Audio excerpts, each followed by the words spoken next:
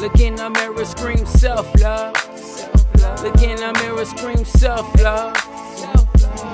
Self love kill your demons. Self love heal your heart. Self love give you confidence. The confidence that you need. Uh. It kill you all your insecurities. Uh. Self love. Talk about in my book, my Eastside Times bestseller, Blacc N Biness. Um, the point I wanted to relay here. Um, oh, I got some of the same stuff. Well, really was just teamwork.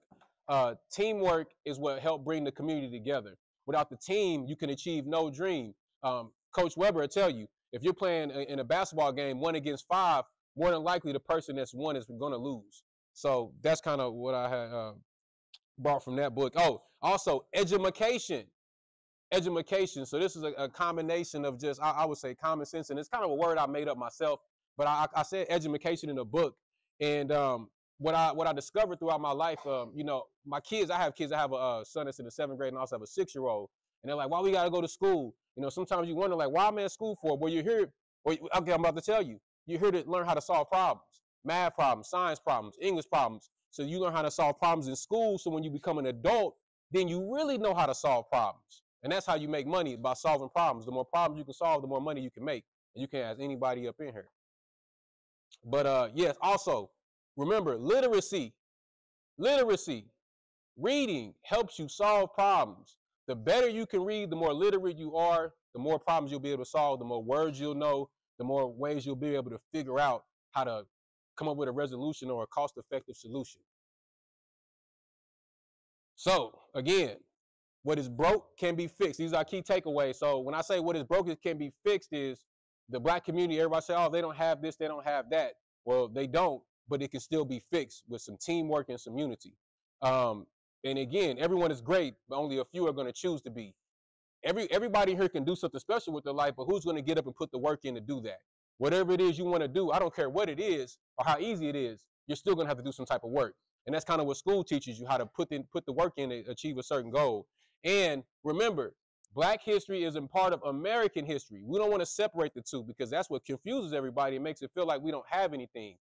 We're here, we're Americans as well. So this black history that we're talking about is a big part of American history, even if it isn't getting taught like that. So I just want everybody to understand that. And that's all I have. So anybody have any questions, any thoughts? Send a hand pop up. Question. Yes. What about like people that like was there any white people that came around and like ruined Deep Deuce a bit? Oh yes, yes. Uh you said they ruined it? Like what do you mean they came around? I mean they came around and I'm pretty sure they uh were they were they like prevalent as far as owning businesses and companies and stuff like that? Uh, I'm not sure. I'm not gonna lie. To be honest, Deep Deuce, it's not, it's not a lot of it's not a lot of information out on it. You don't see a lot of documents. Um, I, I did quite a bit of research, and if you Google the Deep Deuce, um, it's almost all on one Google page. It's a few blog blurbs about it, but to really get the Deep Deuce history, you probably have to go to the historical Oklahoma Historical Museum to really get all the official artifacts, uh, the paperwork, different Huh?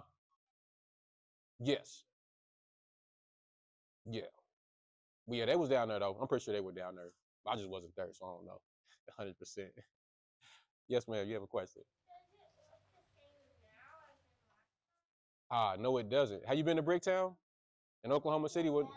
Okay, well, back then it didn't have all the brick roads. Um, it was a little bit more industrial. It had more um, industrious buildings like factories and things like that. Um, so no, it doesn't look the same as it. It doesn't look anything like this now. Yes, sir. I made eight. I, have made eight books. Well, really, I'm on nine right now, but yeah, I write. I write a lot. That's what I, I really do. Yes, sir.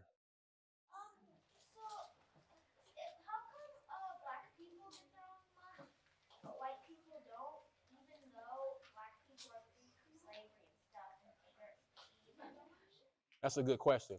And that's why I said it's American history. You see, black people felt like, well, we, we, we, we don't have anything. We're oppressed people. We came out of slavery.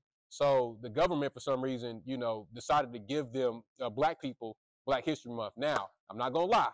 I don't know all the facts into what started Black History Month, but if you ask me, I feel kind of I, I kind of like with you. You know, I feel like making Black History Month separates black people from America. And like we said, we're all Americans.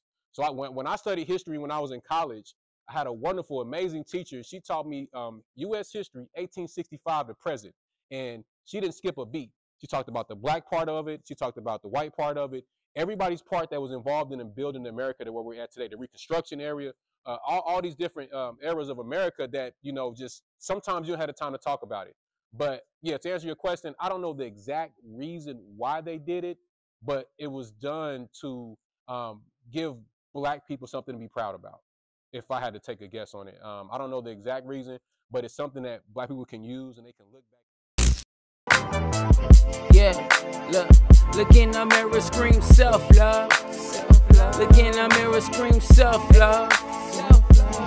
Self love kill your demons. Self love heal your heart. Self love give you confidence, the confidence that you need. Uh, it kill you all your insecurities. Uh, self